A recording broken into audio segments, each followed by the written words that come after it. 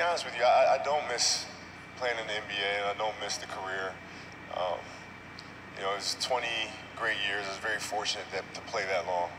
And uh, but now, you know, I watch it through my daughter. My daughter plays every day, so I enjoy watching her develop. But that's about it.